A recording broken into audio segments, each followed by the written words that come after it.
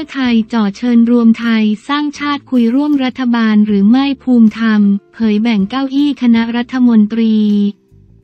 เสร็จตอนใกล้โหวตนายกรัฐมนตรีแจงไม่เคยบอกก้าวไกลดึงสองลุงร่วมรัฐบาลจ่อเชิญรวมไทยสร้างชาติคุยร่วมรัฐบาลหรือไม่เมื่อวันที่ 14 สิงหาคม2566 นายภูมิธรรมเวชยชัย รองหัวหน้าพักเพื่อไทยพอทอ ให้สัมภาษณ์กรณีกระแสข่าวพักที่จะมาร่วมกับพักเพื่อไทย ยื่นเงื่อนไขร่วมรัฐบาลต้องไม่มีเงื่อนไขห้ามรัฐมนตรีนั่งกระทรวงเดิม หากมีขอให้เปลี่ยนตัวแคนดิเดต นายกรัฐมนตรี ว่าตนยังไม่ได้ยินพักใดประสานมาในเรื่องดังกล่าวอย่างเป็นทางการแต่เท่าที่ได้คุยกับหัวหน้าพักที่จะมาร่วมงานกับเพื่อไทย ไม่มีปัญหาที่รุนแรงในเรื่องนี้ นายภูมิธรรม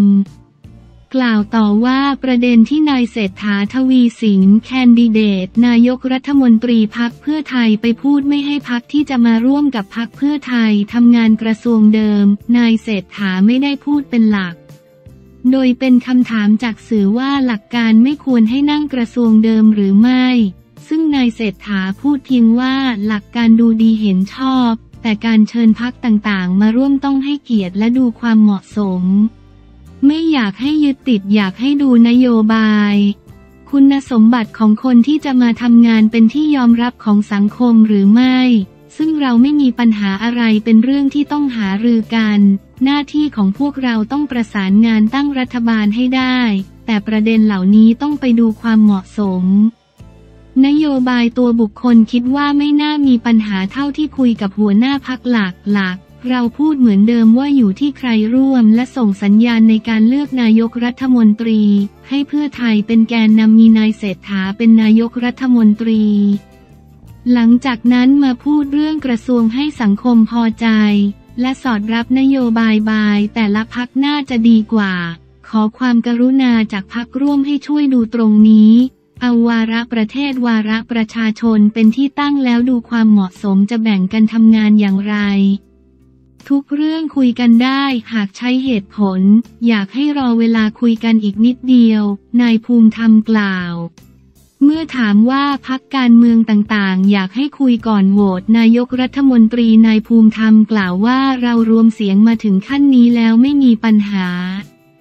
ถึงเวลาที่เหมาะสมจะทำให้มันชัด ต้องชัดเจนก่อนว่ามีคนพร้อมร่วมรัฐบาลเท่าไหร่ แล้วจะจัดการอย่างไร ตอนนี้เรามี 238 เสียงพักพลังประชารัฐพอปชรบอกจะโหวตให้โดยไม่มีเงื่อนไขก็รวมเป็น 278 เสียง เราต้องทำให้ได้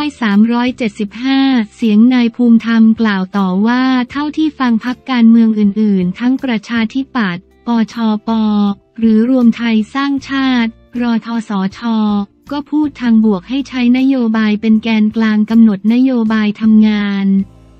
ถ้าคุยด้วยผลประโยชน์ประเทศชาติคุยได้หมด ตั้งใจว่าเมื่อเลือกนายกรัฐมนตรีแล้วรัฐบาลจะเดินหน้าทำงานได้ในเดือนกันยายน คิดว่าประเด็นกระทรวงต่างๆ จะเสร็จสิ้นใกล้เคียงกับการโหวตนายกรัฐมนตรี ขอดูเวลาที่เหมาะสม เมื่อถามถึงความคืบหน้าการประสานพักมาร่วมโหวตให้แคนดิเดตนายกรัฐมนตรีพักเพื่อไทยเพิ่มเติม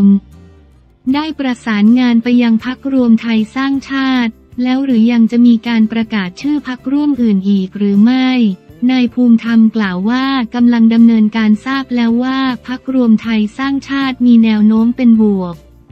เราคุยกันบ้างแล้วตั้งแต่เชิญมารับฟังแนวทางร่วมรัฐบาลก่อนหน้านี้ที่พักเพื่อไทย ยืนยันความสัมพันธ์ไม่มีปัญหา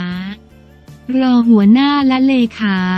พักเตรียมการให้เรียบร้อยแล้วจะเชิญพักรวมไทยสร้างชาติมาพูดคุยอย่างเป็นทางการ เมื่อได้ความชัดเจนว่าจะร่วมรัฐบาลกันหรือไม่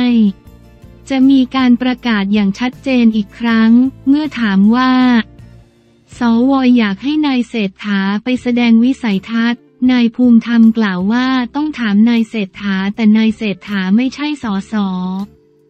การเข้าไปพูดในสภาอาจลำบากการที่นายพิธาลิ้มเจริญรัตแคนดิเดต นายกรัฐมนตรีพักก้าวไกลพูดในรัฐสภาเป็นการตอบคำถามแล้วแสดงวิสัยทัศน์ และที่ผ่านมาไม่เคยมีการแสดงวิสัยทัศน์ การตรวจสอบผู้ที่จะมาเป็นนายกรัฐมนตรี เป็นเรื่องจำเป็นทุกคนสามารถตรวจสอบได้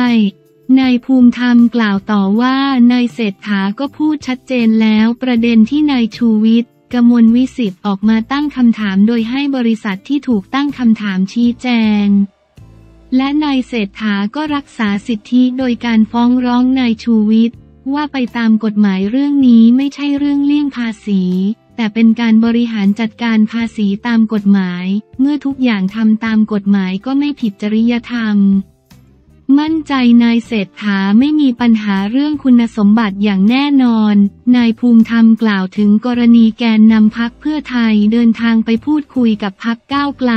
ที่มีการออกมาระบุพักเพื่อไทยไม่ได้บอกรายละเอียดการเดินหน้าตั้งรัฐบาลว่า ขอยืนยันข้อเท็จจริงการไปพบกับพักก้าวไกลวันนั้นไปในฐานะทีมเจรจาส่วนที่มีนสแพทองทานชินวัตรแคนดิเดต นายกรัฐมนตรีพักเพื่อไทยไปด้วยนั้นพักก้าวไกลเป็นคนร้องขอมาเพื่อจะได้สบายใจกันทุกฝ่ายนางสาวแพทองทาน ก็เดินทางไปเราไปอย่างเปิดเผยไม่ปิดบังอะไร นายภูมิธรรมกล่าวว่าส่วนที่มีรายงานข่าวว่าเราไปแจ้งว่าจะเอาสองลุงมาร่วมรัฐบาลนั้นไม่ตรงข้อเท็จจริงอาจจะคลาดเคลื่อน